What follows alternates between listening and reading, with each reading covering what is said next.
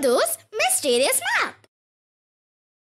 Little Detective Madhu received a mysterious map that led to a hidden treasure. The map showed three roads the shadowy lane, the whispering path, and the silent alley.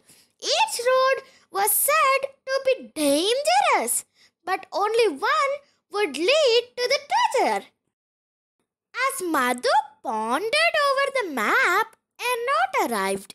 It hinted that the correct roadway was named after the one thing that would lead the seeker astray. Determined to solve the puzzle, Madhu set out to the shadowy lane. On the shadowy lane, the streetlights flickered, casting airy shadows. The road twisted and turned, leading Madhu deeper into darkness. But suddenly, a voice whispered, You're on the wrong path, little detective. The treasure lies somewhere else. Confusingly, Madhu retraced his steps and decided to try the whispering path. As he walked, the wind whispered secretly in his ears. The path seemed promising, but at the end, a sign read The treasure eludes you yet again.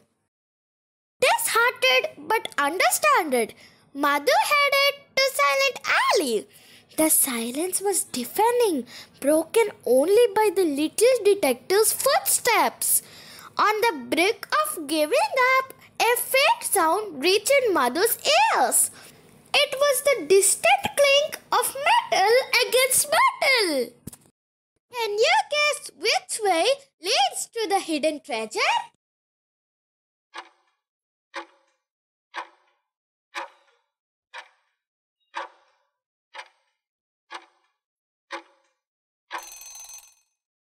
Following the sounds of the metals, Madhu discovered an abandoned warehouse at the end of the silent alley.